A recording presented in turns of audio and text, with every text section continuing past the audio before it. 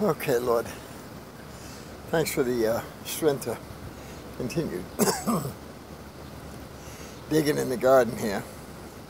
And uh, thanks for the meeting we just had with uh, Carol. And uh, we got to encourage her. Seems like her life has taken a lot of bad turns. Yeah, nice and cool today. There you go. up here, I was sweating.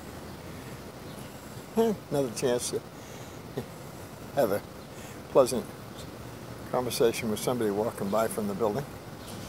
Okay, so uh, encourage Carol, Lord, I ask in Jesus' name as we prayed with her.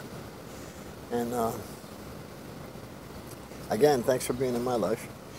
And I'm finding that to upload these to uh, YouTube from the network um, takes a while, and I'm not sure how much. I only have one gig a time, so I'm not sure how big the files. So I'll try to do them on Wi-Fi right now till I can call customer service and find out how long and how big the files are. Okay, Lord. I'm going to uh, stop here soon and go upstairs and take a break. And again, praise God and thank you, Jesus, for being in my life.